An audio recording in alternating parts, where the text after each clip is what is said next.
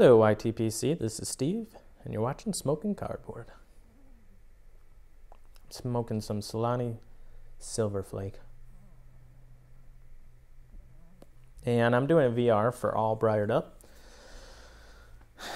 Um, John's a great guy. Got 100 subs. Congrats. Uh, he's been a great addition to the YTPC. I'm glad that you started making videos. He um, he makes a lot of content and um, has some good insight on uh, different tobaccos. Uh, he smokes a lot of um, aromatics, but not just aromatics. So if you want to check out his channel, give it a look. Get some moisture in here. Um, anywho, he asked uh, three questions. For starters, I already said, John, don't include me in the giveaway. You already just sent me a bunch of stuff. so just exclude my exclude my name. But I still wanted to participate, support your channel. So you asked um, what got you into pipe smoking? Um, I never did any cigarette, cigar, weed, any kind of smoking prior to pipes. We were touring Europe, and um, one of the guys was an avid pipe smoker. And he broke out his pipe and was smoking it. And it smelled so good, and he let us all take puffs, and I didn't taste anything. I thought that was kind of boring. So uh, smelled great, didn't taste like anything. Nothing's changed with aromatics for that with me. And um, so I kind of just shelved it, but it wasn't until two years ago now that I thought, hey, we do a lot of fires around uh, the neighborhood uh, we get together and it'd be just nice to i think it would be just so cool to smoke a pipe sitting around a fire in the neighborhood give me something to do while we're just sitting there not doing much.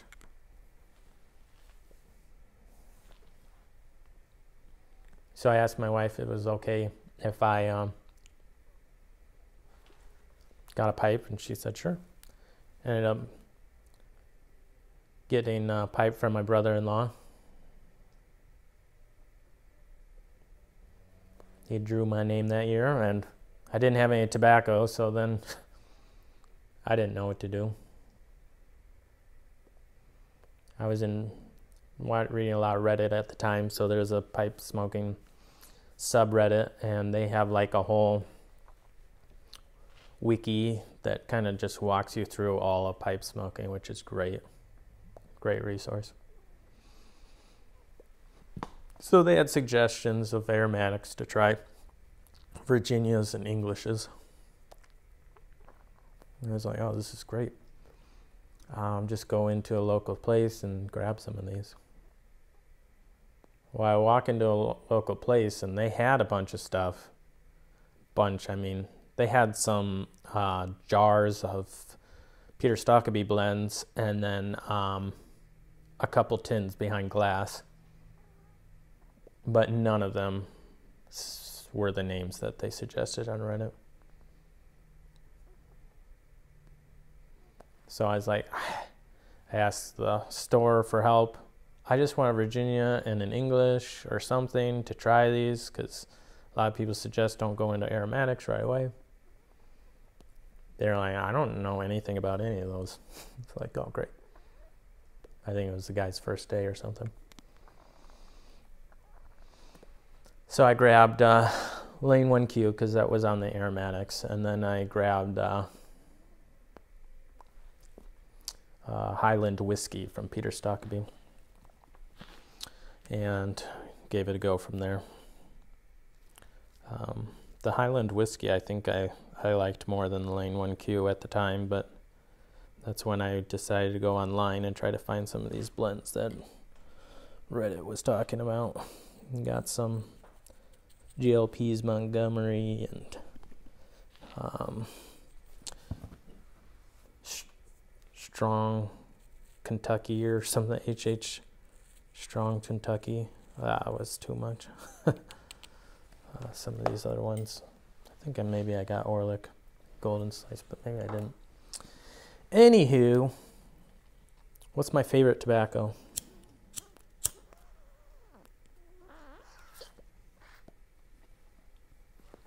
Um, trying to suck that moisture up into my filter. Um, favorite it's tough. I'm still figuring that out. I haven't got. I'm just been trying so many different blends that it's hard to get into a definitive groove. But I think the tin that I enjoyed the most, and I haven't opened another one yet because I'm just trying to smoke stuff that I do have open, was the H and H uh, anniversary flake. It's a Virginia Perique. I'm glad I bought. I wasn't going to try to buy anything until after Thanksgiving, and I bought some more because it was out of stock at a lot of places. But then at Tobacco Pipes, they had some, so I just bought whatever, 10 tins of it, nine or something. So all pretty reasonable price at like $10 and I'm glad because I, I don't I don't know. I'm not sure if with the FDA regulations this will be one of those blends that disappears. So I'm not in a rush to smoke my other tins of it. Um, I probably just smoke a tin of it a year. Um, then he asked uh, why I continue to smoke. Well, this kind of went into what Cass Piper Cassidy Skull was did a VR for that. Why smoke a pipe? I really appreciate all the friendships that I have on here. I appreciate the relaxing. I appreciate figuring out the tobaccos and how to smoke them. I really appreciate the taste, you know, like really appreciate that. Um, yeah, I like it a lot.